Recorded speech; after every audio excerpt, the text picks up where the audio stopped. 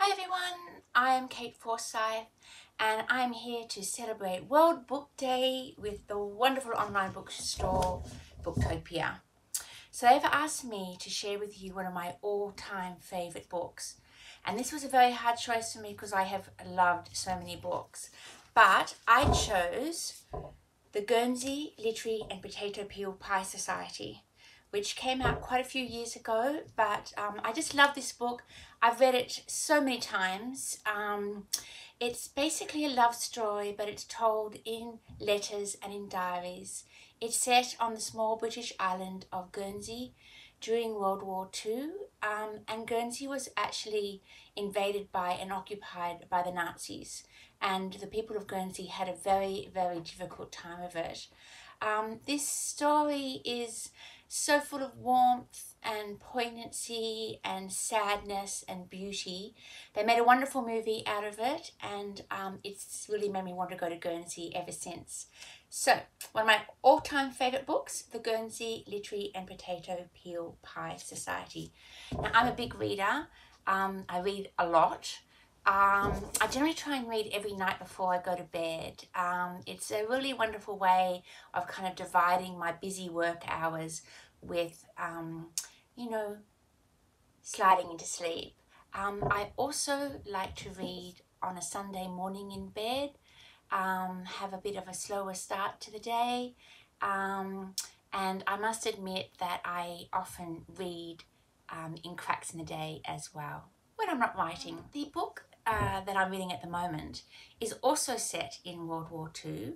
Um, I'm just completely fascinated by this period of time. I guess because um, it's still, I think, a great kind of collective psychic wound. Um, it's still in living memory. It's still the greatest um, you know, example of human evil that we have in our own living memories. And um, most of us know someone, a, a, a grandparent or a parent or great grandparent who, who lived and suffered during the war. The book I'm reading at the moment is called The Diamond Eye by Kate Quinn. It's literally hot off the presses. I've only just got my greedy hands upon it. Um, Kate Quinn is one of those authors who I will read anything that they write. Um, she's just has such a wonderful knack for you know, uh, for combining drama and pathos and humor and um, a really, really swift, powerful pace. If you haven't read any of Kate's books, look, I, I can recommend them all. I've read them all. Um, and I'm enjoying this one immensely. It's based on a true story of a young woman who became one of the top snipers in World War II. That's what I'm reading now. And while I'm here, um, I'd love you to help me celebrate the launch of my new novel, which is also set in World War II, just one of the most fascinating periods in history. Um, my novel is called The Crimson Thread, and it is set on the Greek island of Crete. Uh, it starts with the German invasion of 1941 and then follows the story of my heroine, Alenka, who hides two Australian soldiers uh, from the Germans at enormous risk to herself and to her family. They have been left behind on the island after the Allied evacuation from Crete. Um, and they have to be hidden in, you know, caves and ruins and, you know, kept out of sight for months and months and months.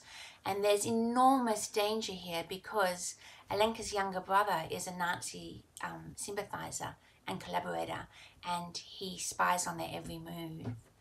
It's full of uh, danger and adventure and drama and love. I do hope that you will read it and enjoy it just as much as you love these wonderful books by Kate Quinn and Mary Ann Shaffer. Happy World Book Day. Bye-bye.